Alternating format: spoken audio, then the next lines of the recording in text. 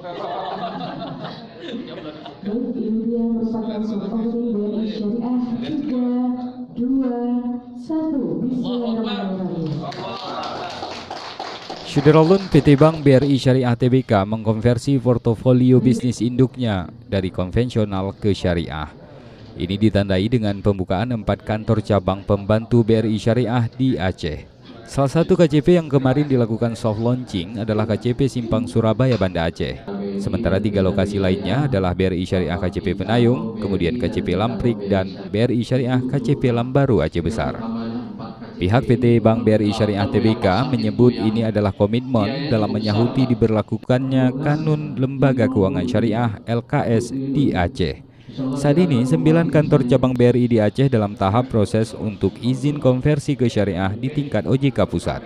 Dengan nasabah 3,3 juta di Aceh, portofolio bisnis BRI di Serambi Mekah kini mencapai lebih kurang 20 triliun rupiah.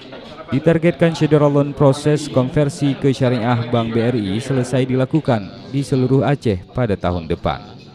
Sebenarnya kita target kita untuk konversi pembiayaan sekitar 759 miliar dan untuk simpanan sekitar 1 triliun. Itu untuk nasabah kita yang sudah yang dikonven. Yang target kita yang, yang kita konversi di tahun 19 ini segitu. Untuk kantornya? Untuk kantornya kita targetkan kita targetkan seluruh uh, kantor uh, kantor cabang BRI dan KCP-nya itu dibuka syariahnya di tahun ini.